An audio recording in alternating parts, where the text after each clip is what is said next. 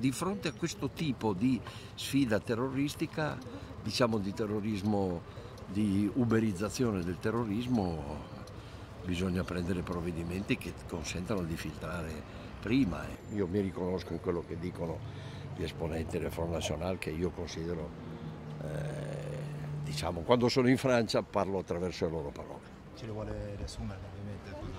Beh, ha dato delle indicazioni molto precise, ha detto che, che bisogna, bisogna, adottare le espulsioni immediate, bisogna eh, adottare provvedimenti seri sulle identificazioni e ovviamente musclé eh, tutte quelle misure atte a, a prevenire che evidentemente il lassismo che in Italia è ancora, ancora maggiore poi lascia delle, delle faglie aperte. Perché c'è stato questo attentato? Da dove arriva?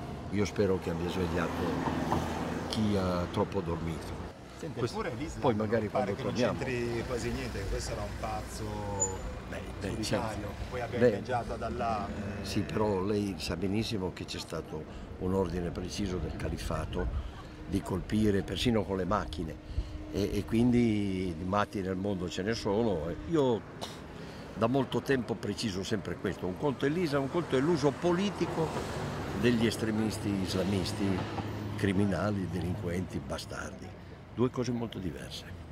E però qui siamo di fronte al fatto che può succedere anche dove lei va a prendere il gelato con, con la sua famiglia. Qui siamo a pochi chilometri dall'Italia, è preoccupato per il nostro paese? Stanno arrivando anche nel nostro paese? Ma certamente, se uno, se uno passa eh, il mercoledì quando Papa Francesco parla davanti a 50-60 mila persone mi dicevano poliziotti e carabinieri non è che possiamo aprire tutte le borse di tutte le anche perché poi non ci sono barrage non ci sono eh, e quindi o quando qualcuno dice messa o, o, quando magari un partito fa un grande meeting eh, o quando c'è la fiera del libro speriamo di no.